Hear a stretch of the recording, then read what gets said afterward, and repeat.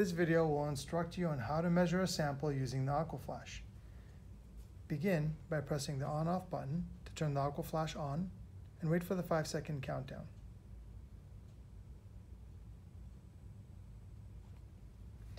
Using your 60cc syringe, take up some source water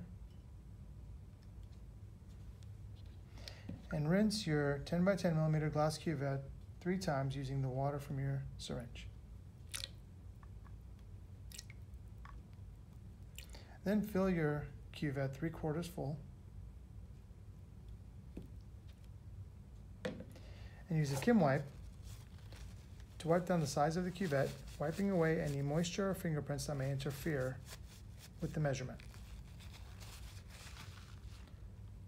Lift the lid, insert the cuvette into the Aquaflash, and close the lid. Press read. You'll be instructed to insert the sample and press read. To confirm you have, insert, you have inserted your sample, press read again, and wait for the measurement to complete. The measurement should take no longer than 15 seconds.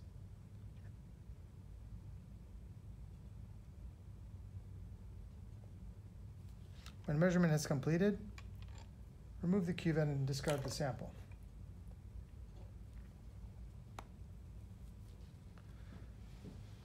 The results are displayed on the screen as chlorophyll in microgram per liter concentrations and yield as a ratio from 0 to 1, indicating how healthy algae are.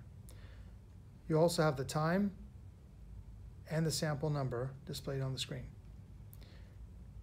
If you want to view raw fluorescence data that were used in calculating the yield, press the down arrow key to view the minimum fluorescence FO, the maximum fluorescence FM, and the background fluorescence saved during calibration.